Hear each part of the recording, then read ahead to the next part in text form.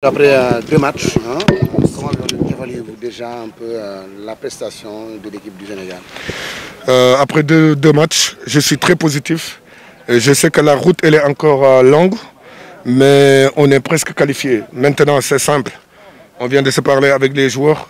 Ce qui est important pour nous, c'est la première place, de rester ici, de ne pas bouger toute la logistique qu'on a amenée pour pouvoir se déplacer encore. Vous savez bien, pour gagner une Coupe d'Afrique, et aujourd'hui, il faut que ça soit clair. Euh, moi, les gens qui disent que l'équipe du Sénégal était favori, non, on est toujours favori. Combien de fois il y a des équipes qui ont gagné une Coupe d'Afrique en n'étant pas au top de leur forme dès les premiers tours?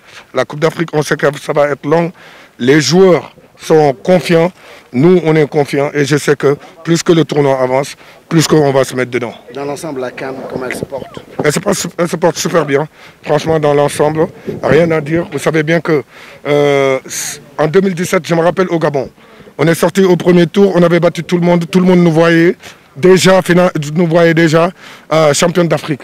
Et aujourd'hui, je suis très confiant parce que euh, ils travaillent tranquillement, sans pression, et qu'il y a des jours, il y a des gens même qui se disent que le Sénégal n'est plus favori, c'est bien, mais maintenant c'est aux joueurs, c'est aux joueurs de répondre présent sur le terrain et d'être prêts le jour J. Et le jour J, ce sera quoi? Les huitièmes de finale, les quarts de finale, les demi-finales et la finale. Qu'est-ce que vous pensez du protocole sanitaire? Il y a beaucoup de cas de Covid. Le, le coach lui-même a un peu fustigé ou critiqué le protocole Vous savez, euh, euh, c'est quelque chose qui est là, le Covid. Euh, moi, tout ce que j'ai dit aux gens, c'est de faire attention aux gestes barrières.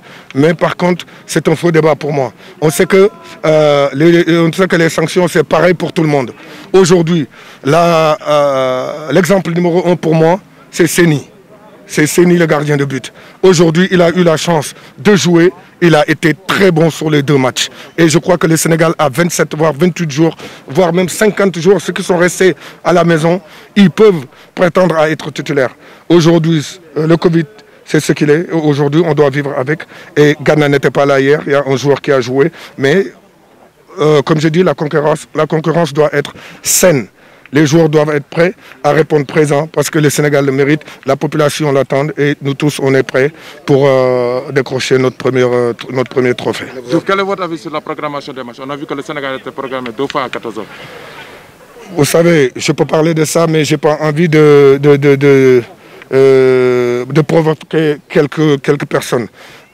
Moi, ce que j'ai dans la tête et ce que je suis sûr, c'est qu'aujourd'hui, même si on doit réveiller les joueurs à jouer à 6 heures du matin, ils doivent être prêts. Pour gagner la coupe, il faut être prêt. Tout ça, pour moi, c'est des faux débats.